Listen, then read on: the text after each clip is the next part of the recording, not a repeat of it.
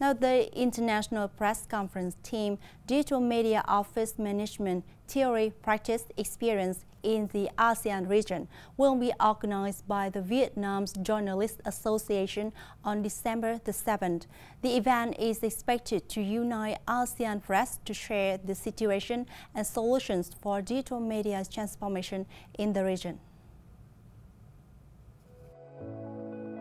The workshop included two sessions, namely general theories on digital newsroom management and digital newsroom management, reality, experience, and solution. At the event, delegates discussed theories and measures to promote digital transformation in Vietnam and the region.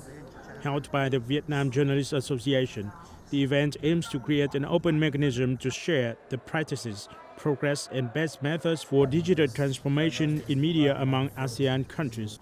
For journalism, digital transformation is the application of digital technology to change content management, operation, production, publishing, content distribution, and business models.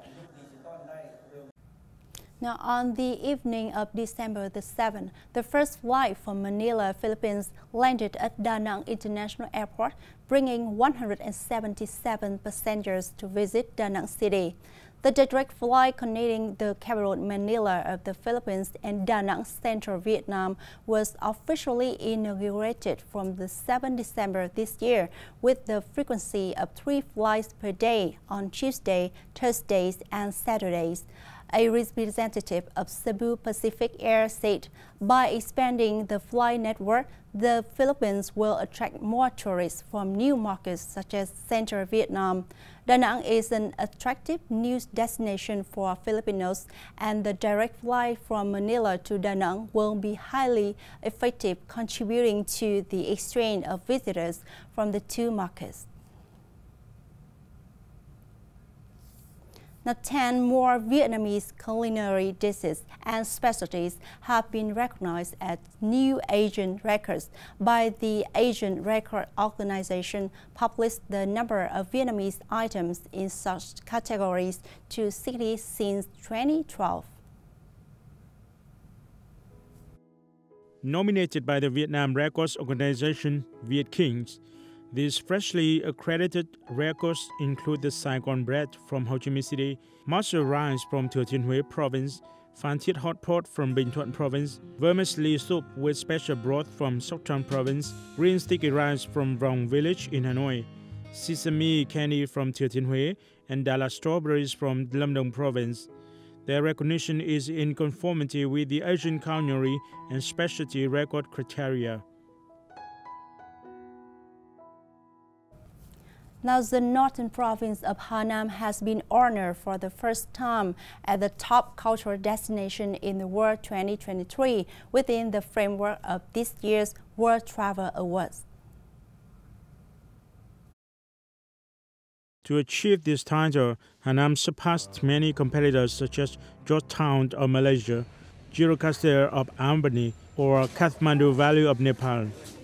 Located at the southern gateway of Hanoi, about 65 kilometers from the capital, Hanam is a land rich in potential for the development of spiritual, cultural, ecological, and culinary tourism, boasting historical sites, scenic landscapes, and famous craft villages. The festival season in Hanam usually takes place from January to March every year. On the full moon day of April, that is Buddha's birthday, suitable for tourists to visit the temples Hanam owns many famous pagodas in the country, such as Tam Chúc Pagoda, Địa Tạng Phi Pagoda, and Bà Đanh Pagoda. In particular, Tam Chúc is a vast spiritual scenic area, including Tam Chúc Pagoda, known as one of the largest pagodas in the world. Now, goalkeeper Filip Nguyen has become a Vietnamese citizen after completing naturalization procedures late Wednesday, Wednesday in the process qualifying to play for the national team. The 31-year-old keeper for Vietnamese Hanoi Police Club, whose birth name is Filip Nguyen, has become Nguyễn Filip in his Vietnamese avatar he is now likely to get up by coach Philippe Troussier for the national team for the upcoming training camp and might even get his name in the preliminary list for the Asian Cup to be played next month. The deadline for submitting the list is December the 12th. Born to a Vietnamese father and a Czech mother, Filip graduated from Sparta Praga's youth football academy and played for the club before moving to other domestic clubs. 78 years old Phạm Thị Ngọc Cầm from Hanoi has become the latest Vietnamese record holder in aqua yoga. Cầm was awarded a certificate by Vietnam Record Association as the oldest woman to post eight different floating yoga asanas and spin 80 rounds on water. Under the watchful eyes of Viet King's officers and numerous friends and guests, Phạm Thị Ngọc Cầm successfully completed her mission turning around consecutively before performing beautiful positions including the lotus, butterfly, a bow, and a tree. All acts were done while she was floating on water. It's not just a recognition of her setting a record, but also conveys a message to the society. Setting a record at this age affirms that people can absolutely become a record holder at any age, as long as we have enough perseverance to pursue our passion, talent and will.